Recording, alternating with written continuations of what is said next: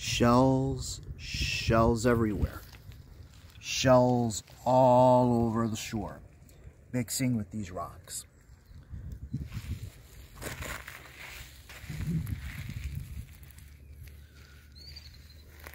You could be easily fooled into thinking that this is the seashore. Looks like the seashore. Got the water. But this is a freshwater lake. Many people would not associate shells with lakes, particularly freshwater lakes.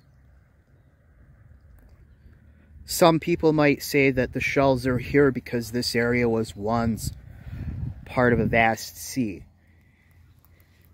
And given the limestone that can be found in this region, yes, this area was once part of a sea. This area was once underwater.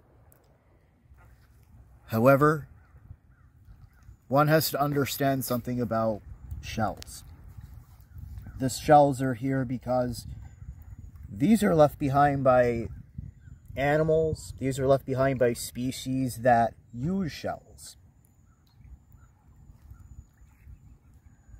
Mollusks.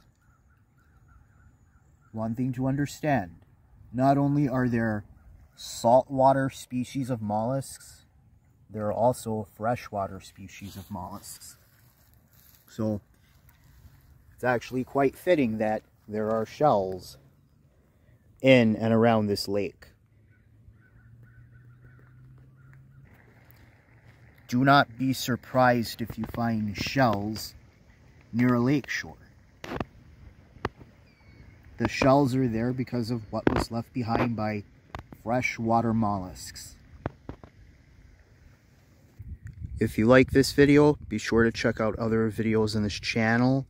And as always, be sure to leave a comment, like, and subscribe.